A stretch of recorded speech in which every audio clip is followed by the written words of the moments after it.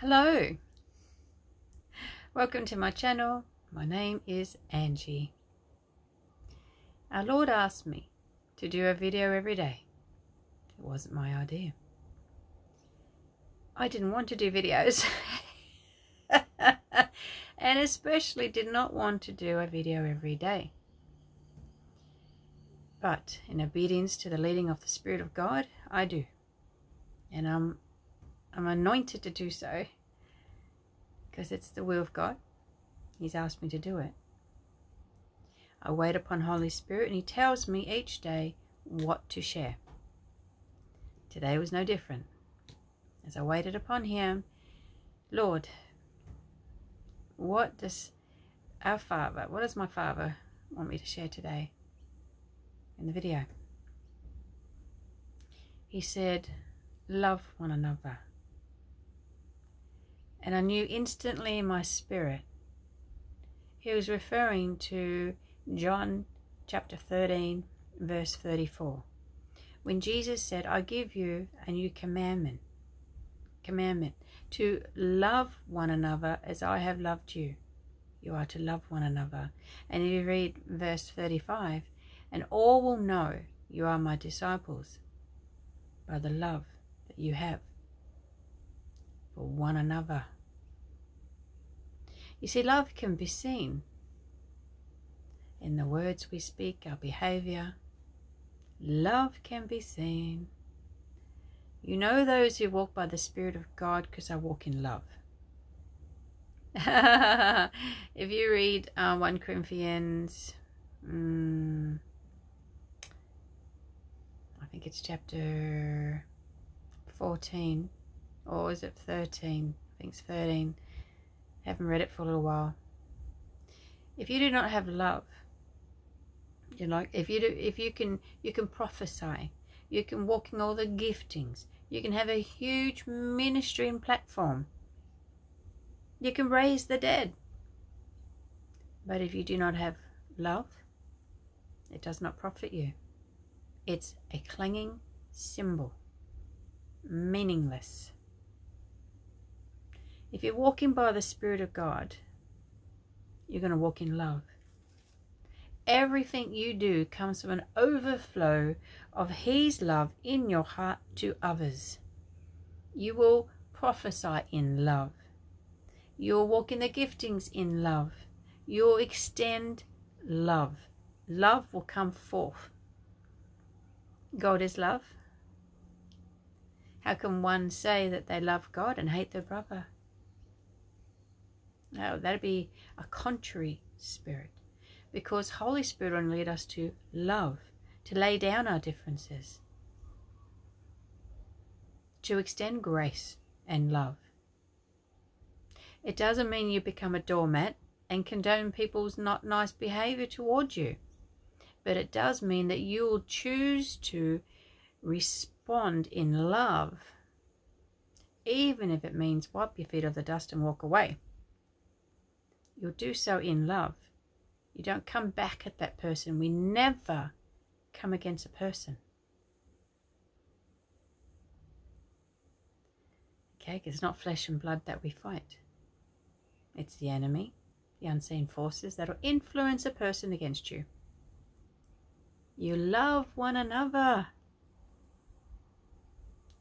So I'm going to read, I kind of digressed a little bit there, but I think it needed to be spoken love can be seen. It's not I'm going to sprout all these wonderful verses out. Look what I can do. Clanging cymbal. If you are not walking in love, you become like the one in whom you fix your gaze upon. Jesus is love. You will love. It means laying down your life for others. it means doing something you don't really want to do. Love can be seen. Love will speak life and blessings. Love will extend grace when someone does something that you know is actually not right. Love will have you pray for them from the heart not against them. Because that'd be soulish prayers, witchcraft prayers. Love will have you pray out of love, earnestly desiring their good, and that God will intervene in their lives and cause a good outcome for all concerned. Love can be seen. So we saw how Jesus so loved us, God so loved us, he gave us his only begotten Son. Jesus loved us so much and in obedience to the Father laid down his life, allowed himself to be tortured. His body was beyond recognition. Then, whilst on the cross in agony, took upon himself our sin, our punishment, came upon him while he was hanging on the cross. It's love.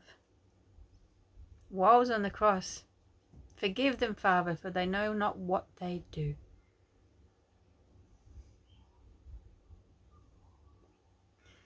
Okay. It's a dying to self. When you love, you'll deny yourself, you'll pick up your cross, you'll follow Jesus, because Jesus is love He came to serve, to destroy the works of the enemy, to save the world, to save us. He came to serve. He showed us how to serve in love, in humility, not esteeming himself above others, though he was God in flesh. He walked in love and compassion. That's our Lord Jesus. He is our example. Let me read to you John 13 34 to 35. This is Jesus speaking. It's in red ink in my Bible. A new, our beloved Jesus recorded speaking this. A new commandment I give to you, that you Love one another as I have loved you. That you also love one another. So as he has loved us, we also should love that way one another. By this, all will know that you are my disciples, if you have love for one another. It doesn't say They'll know you are my disciples because you have a great ministry or big platform. You're walking in the giftings. You can prophesy. You can do great charity works. Love. A person who's walking by the Spirit of God will walk in love. They'll extend love. Love will be seen. Hallelujah. Without love, it'll be a clanging cymbal. It'll be good for nothing. No profit for you in heaven. It might look good in front of man, but it'll not profit you. When you walk in love, God is love. Power God's released. His will and purposes will be done. Hallelujah! whether it's just an encouraging word to someone, a pat on the back to someone, well done. Having a Facebook page, a ministry, a big platform, these are all good things if done in love. Hallelujah. And there's many out there who do have big platforms and ministries being led by the Spirit of God in love.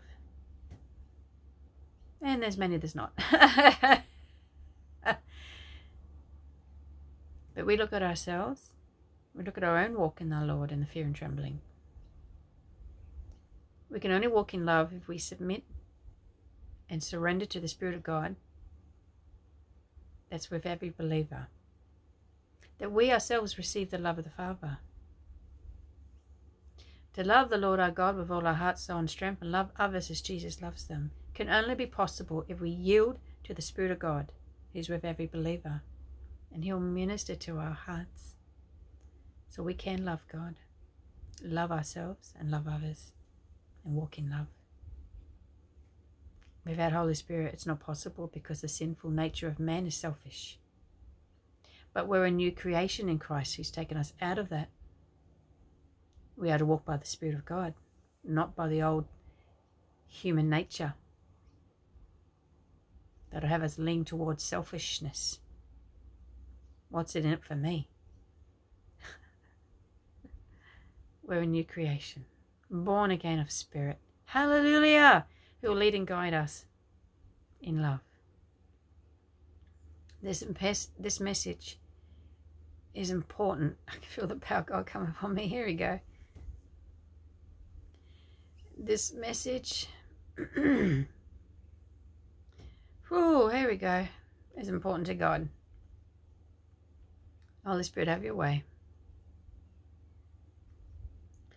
He said, I am love.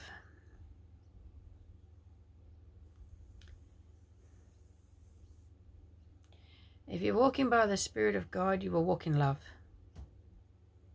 You'll display His fruits. And one of His fruits is love. You will walk in love toward yourself and toward others. If you're walking in carnality and flesh, you're going to be walking in something contrary, not of God.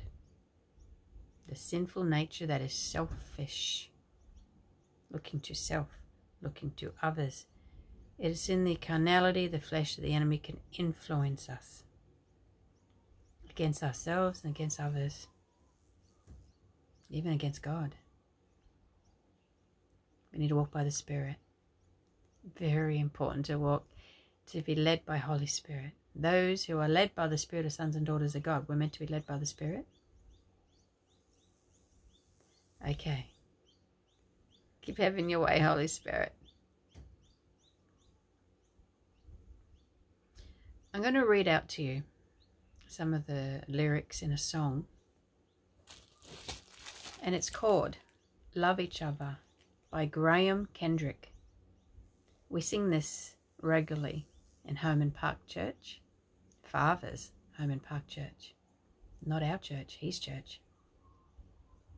I'm going to read it out to you. And I'm going to put the link to this song below the description of this video. This was Jesus when he washed the feet of the disciples. Our Lord Jesus did this.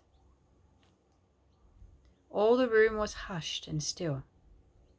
And when the, bow, the bowl was filled, he, Jesus, stooped to wash their feet. And when it was complete, he said, This is what I'm asking you to do. This is why I'm kneeling here beside you.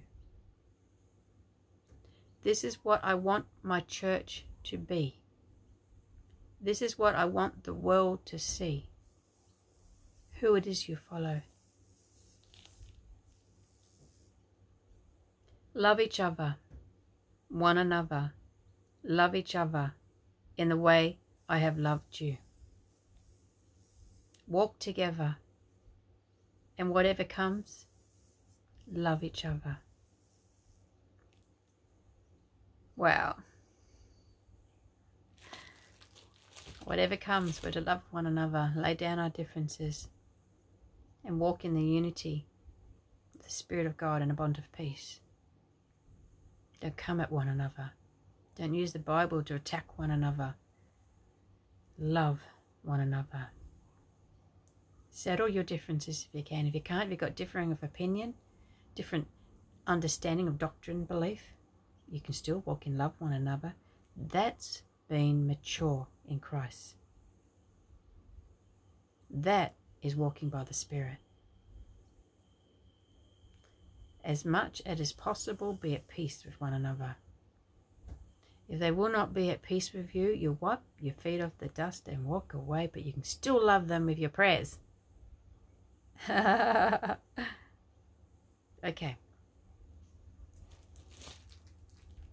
It says in this song, who it is you follow. If we follow Jesus, we're going to walk in love. If you read Matthew chapter 16, verse 24. This is Jesus again in red ink. It's, it's in red ink. Then Jesus said to his disciples, If anyone desires to come after me, let him deny himself and take up his cross and follow me. For whoever desires to save his life will lose it, but whoever loses his life for my sake will find it. I won't keep going. But the part of this verse is if you want to follow Jesus, truly follow Jesus, you need to deny self. You need to know how you feel about something, your belief, your understanding. Pick up your cross, crucify that flesh that's trying to rise up against someone. Crucify the flesh that's trying to have you do something you know is not of God. Follow Jesus, He's our example. And he said today by his Spirit, love one another. A new commandment I have given you. Love one another.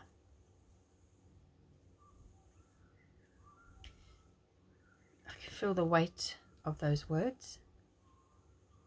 And it's by the Spirit of God. This is Father's heart for his children only by walking it by in his spirit, led by his spirit, in the spirit, led by him, can we love one another and have unity with the brethren. I was shown two visions. The end time army. They looked like everyday normal people. But there was a difference. They took authority over the realms of darkness. That was a given. They walked in signs and wonders. That's a given. Those who believe signs and wonders will follow. Jesus has given us the authority over the, realms of darkness. Luke 10 19. What made them different? Wasn't their big ministry, big platform, wasn't all their works. They walked in love, led by the Spirit. And they did it in unity. That vision, those visions have stayed with me. My heart is for unity in Father's church around the world. And that'll only happen if we're walking by the Spirit of God in love. You will defeat the forces of the enemy. You will overcome. Because God is love. And God is all powerful. When you walk in love, the power of God is released. I've seen it happen. Jesus was moved by compassion and all were healed. Holy Spirit will move you into love, to lay down your differences, to crucify the flesh that's trying to rise up, maybe being influenced by the demonic. He'll move you in compassion. He'll move you to forgive those who come against you. He will move you to walk in unity, in a bond of peace. Always comes back to Holy Spirit, our helper, our counselor, our comforter, our teacher. Oh, it's going to go back to this prayer. I did a prayer. The Lord had me do um, write out a prayer It's by heaven. It's heaven sent. And I did a video where I had everybody, encouraged everyone to repeat that prayer and to live it through unction of Holy Spirit. I'm going to put the link for that video below the description of this video. You need to know the Spirit of God. And He is with every believer. You need to know Holy Spirit and have a relationship with Him and walk with Him, be led by Him. He will enable you to love. truly love. Not a selfish love, what can I get out of this? Not a conditional love. If you behave the way I think you should, I will love you. But if you hurt me, I'm going to turn from you and have nothing more to do with you. That's not love. God's love is unconditional. You're going to love regardless how they may speak towards you, about you, behave towards you. You will love them. It doesn't mean you condone any bad behavior. There's nothing wrong with healthy boundaries, and if they will not receive you and they persist in that behavior, God might just have you wipe your feet of the dust and walk away. But learn and grow through it as you yield to Holy Spirit, submitting all and laying everything at the feet of Jesus, you will grow and learn through it. Adversity through people, if you will give it over to God, lay it down at His feet, you will grow. You will learn from it and not complain and come against them because we do not come against flesh and blood. You take authority over the realms of darkness that could be influencing them. Hallelujah.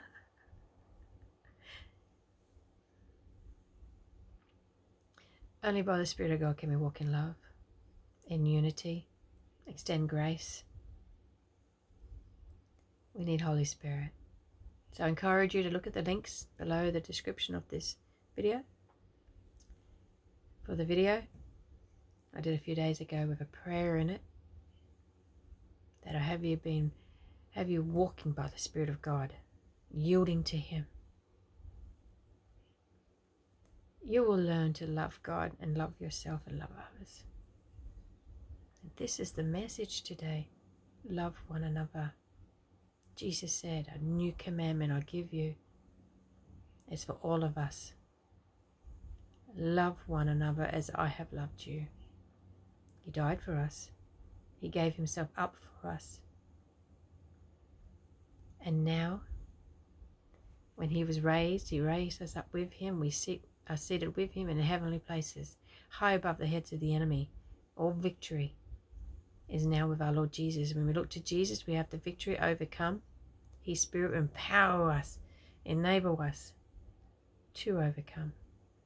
1 John 4 4 we are children of God. We are overcomers because greater is He, the Spirit of God, with us than He, the enemy in the world. Hallelujah. See, the enemy still has, the world still under the sway of the enemy. We're not meant to be off the world. We're meant to be in the kingdom of God, in kingdom of light, led by His Spirit. And then you'll always get the victory and always overcome and get the breakthroughs. Hallelujah! Walk by the Spirit of God. Stay in the Spirit. Don't yield to the desires of your flesh, negative thoughts about yourself or others. Yield to Holy Spirit. Go to Him. Sit back in what I call the comfy chair of Holy Spirit. Say, Holy Spirit, what's the truth about the matter? Holy Spirit, I'm going to lean, rely, and trust in you to uphold me now and show me and lead me through whatever is happening. And He will. He will. It's dependency on Him, what He can do in your life and through your life. It's no more looking to self. Because when you're looking to yourself or looking to others, it's flesh. If you're looking to self, you're looking to your own strength. There's a struggle, there's hardship, It's like an uphill battle. Oh, but when you're walking by the Spirit, you're looking to our Lord Jesus, and you walk in the power of His might, things change. Life, peace, joy, love. Okay, this video will get quite long if I keep going, so I'm going to stop now. See, when you're led by Holy Spirit, He'll just come forth you have a conversation with someone who's led by the Spirit, and the, and the, and the conversation blossoms, it's full of life. So, Holy Spirit, I ask that you minister to every person who's watching, please, that the message was released and prosper in the hearts of all those who will um, are watching this this video. But Father, I ask also that it will prosper in the hearts of your children around the world. That we'll walk by your Spirit, led by your Spirit, stay in the Spirit, that we'll walk in love toward one another, that we'll love each other truly love each other and be in unity, led by the Spirit of God to be that end time army. Hallelujah. Holy Spirit, thank you for ministering to their hearts because I can feel Him moving now. I know, Holy Spirit. We do life together, it's a relationship. So, Holy Spirit, I ask for everyone who's watching right now that they'll have a relationship with you, sensitive to your voice, led by you, by your unction, to lay down self, deny self, pick up their cross daily and follow Jesus. He's our example. We don't follow people. We don't follow how other Christians are living. We follow Jesus. But we follow if someone's walking by the Spirit of God, that we will follow because they're going to display the fruits of our Lord Jesus. Truly display the fruits of Holy Spirit of our Lord Jesus. Is His Spirit within us? And the first thing you're going to look at is love. Not great ministry, not walking in miracles and signs and wonders, gifts how many likes they got on the Facebook page or shares, how many views they got on their YouTube channel. Are they walking in love? Are they walking in love? Go to Holy Spirit and He'll let you know. You'll get a witness in your spirit.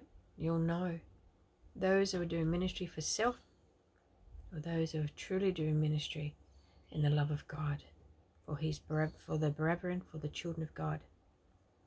Because love will be seen. And there's some amazing people out there who are walking in love. And the power of God being released for those who do follow their ministry. Because love is powerful. God is love. And God makes a way when there seems to be no way. When you walk in love, it makes a way when there seems to be no way.